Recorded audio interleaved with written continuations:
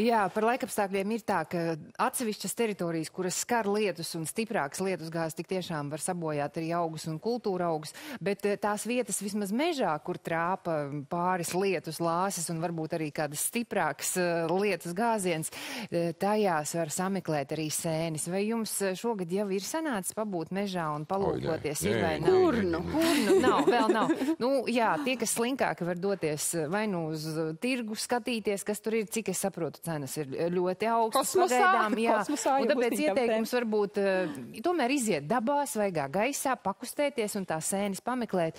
Bet uh, jāteic, jā, pagaidām vēl nav daudz. Turklāt uh, valsts austrumos galvenokārt vidzemē joprojām spēkā dzeltenās pakāpes brīdinājums par to, ka joprojām mežos ir augsta ugunsbīstamība. Tas nozīmē, ka tur meži ir sausi, bet tur, kur ir līs, tur sēnes ir atrodams. Man vismaz vakar pārlūkojot Tinču kalns, Alsunga, Tukums, kaut kur ir, bet ne visur. Es iztieku pagaidām ar to, kas ir saldētavā no aizvadītā gada. Tur Un ļoti labi, jā.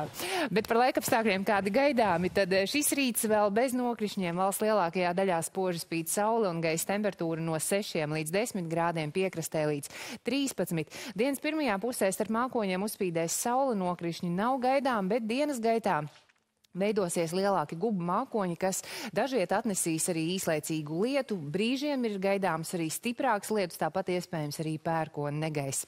Valdošais būs mērens dienvidu rietumvējš un gaisa temperatūra kurzemē 16-18 grādi valsts centrālajā daļā līdz 19. Valsts austrumos gaisa temperatūra dienā no 17 līdz 20-21. Rīgā rīts ir saulains, visai dzestras gaisa temperatūra tikai 10 grādi. Dienas laikā tā paaugstināsies līdz 19 grādiem, bet pēcpusdienā arī Rīgā ir gaidāms lietus.